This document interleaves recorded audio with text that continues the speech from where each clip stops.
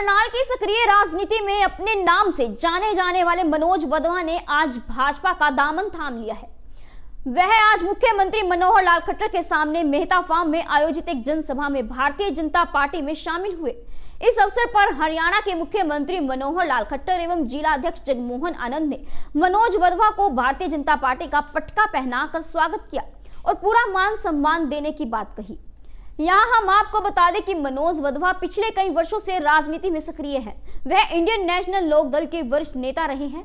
एक बार पार्टी के टिकट से चुनाव लड़ चुके हैं। मनोज वधवा मुख्यमंत्री मनोहर लाल खट्टर के सामने भी 2014 का चुनाव लड़ चुके हैं, जिसमें उन्होंने करारी हार मिली थी। उन्होंने कहा कि आज मनोहर लाल खट्टर मज़बूत स्थिति में है। इस मौके पर विभिन्न पार्टियों से अन्य नेता भी भारतीय जनता पार्टी में शामिल हुए हैं।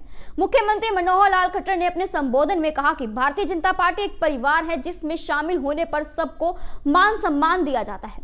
उन्होंने कहा कि भारतीय जनता पार्टी मौजूदा विधानसभा चुनाव में भारी बहुमत के साथ पचहत्तर के आंकड़े को पार कर विजय प्राप्त करेगी। इस मौके पर बड़ी संख्या में जन समूह मौजूद रहा। क्योंकि मुख्यमंत्री जी के आगे भी बहुत कार्यक्रम है, क्योंकि चुनाव का समय आप समझते भी हैं। मैं कुछ नाम ज़रूर, चंद नाम ज़रूर लूँगा, जो कि मेरी टीम के बहुत नज़दीकी साथी रहे हैं। गौरव गोयल जी, जितेंद्र पसरीचा जी, सुरेश शर्मा जी जे के वाई एम संस्था के सभी साथीगण, सुरेंद्र भाटिया जी, काछवा से मेंबर पंचायत, हंसराज चावला जी अनिल शर्मा जी, जो आईटी अमित शर्मा जी, जो आईटी सेल के इंडियन नेशनल लोकदल के साथी हैं। राजा जी, जो एमसी वार्ड नंबर 10 से राजू जी जो चुनाव लड़े थे। भाटिया जी एक्स सरपंच सुभाष भाटिया जी, जो भाटिया सभा के प्रधान भी रहे हैं। विशाल गाबा जी, राजकुमार कालरा जी जी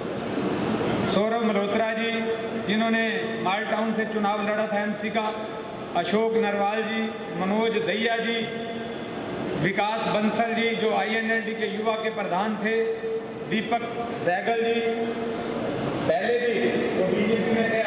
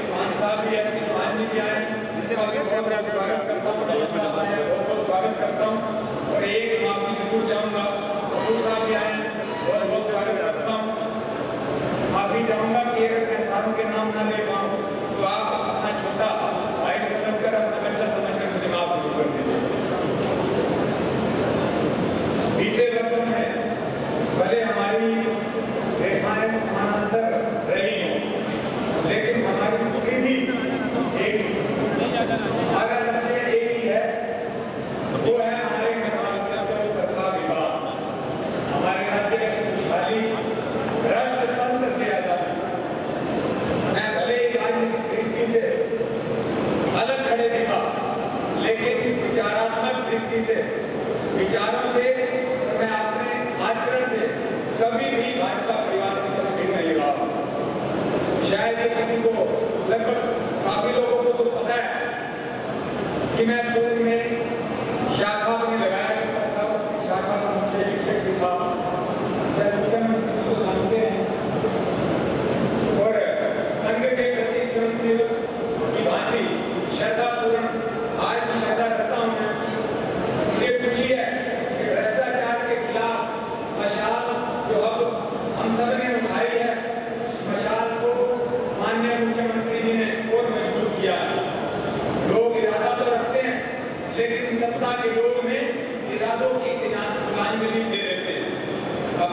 अपने इरादों से किनारा कर लेते हैं।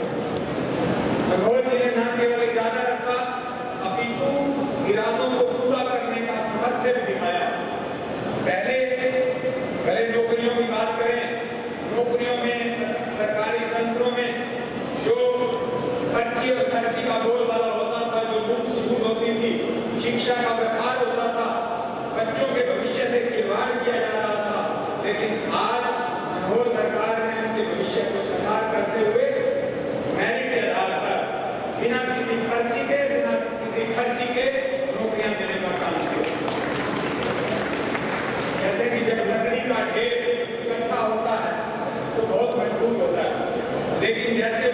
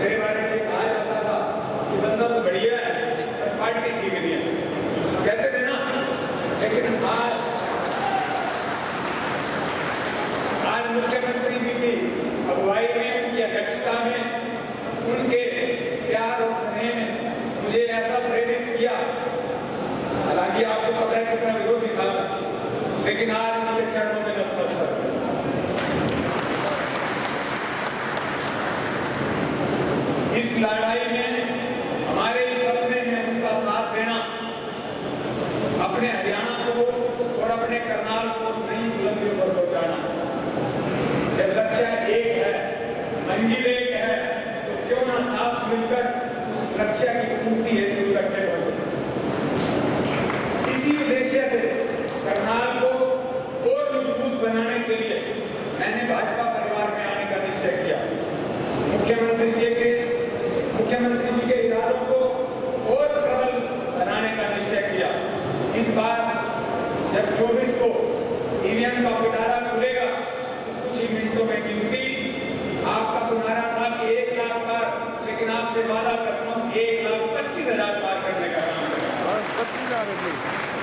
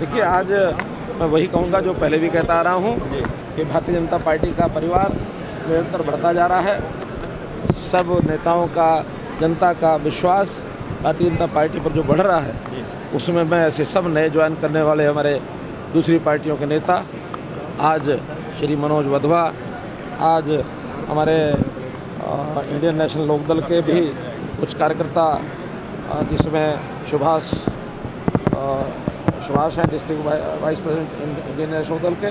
बीएसपी से पंकज चौधरी, जिन्होंने पिछला लोकसभा का चुनाव लड़ा। लोकतंत्र सुरक्षा पार्टी करनाल के श्री वीरेंद्र शर्मा और इसी प्रकार से एडवोकेट अनिल पांचाल, असंध से हैं आम आदमी पार्टी के मनोज दहिया, ये भी किसान मोर्चा कांग्रेस के जिलाध्यक्ष हैं। ऐसे अपने सैकड़ों हज़ारों साथियों के साथ भारतीय जनता पार्टी में मिले हैं। इन लोगों ने भी पार्टी की कार्य पद्धति में विचारधारा में अपना विश्वास व्यक्त किया है और सब लोग मिल करके अब सभी विधानसभा सीटों पर जहाँ जहाँ सब लोगों का प्रभाव है ये लोग काम करेंगे। इनका सबका मैं पार्टी में स्वागत करता सर वीरेंद्र मराठा के घर गए थे आप? क्या वीरेंद्र मराठा जी आए हैं पार्टी में? हम अच्छा है कि आने से पहले उनसे पूछो आने के बाद मैं बताऊँगा। पूरे हरियाणा में कैसा प्रचार चल रहा क्या मैनिफेस्टो रहेगा तेरह तारीख को? मैनिफेस्टो तेरह तारीख को आएगा। आप खुद अगर आ सके तो खुद आइए नहीं तो आपके जो प्रतिनिधि हैं वो चंडीगढ़ आएँगे उनको बताएँगे। रहेगा हरियाणा के लोगों? तेरह तारीख को बताएँगे। प्रधानमंत्री जी हरियाणा में आ रहे हैं कब तक आएँगे और क्या क्या रैली पंद्रह तारीख को दोपहर का समय कुरुक्षेत्र के अंदर उनका आगमन होगा और जो कुरुक्षेत्र लोकसभा करनाल लोकसभा अम्बाला लोकसभा ये सारे क्षेत्रों के लोग और वहाँ कुरुक्षेत्र में इकट्ठे होंगे। सर विपक्ष विपक्ष को कहाँ देख रहे हैं विपक्ष का घर खाली है।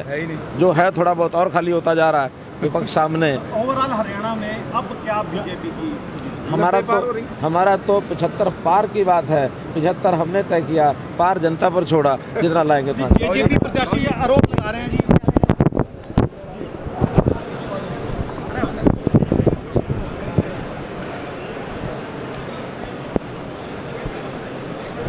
JBD Banquets lie हैं incredible marriage palace Rajgharana and the finest banquet hall Jyoti Garden. World class catering, centrally air conditioned, lush green lawns, state of the art lighting. A perfect venue for wedding, launching and parties. Rajgharana and Jyoti Garden at JBD Banquets Enterprise.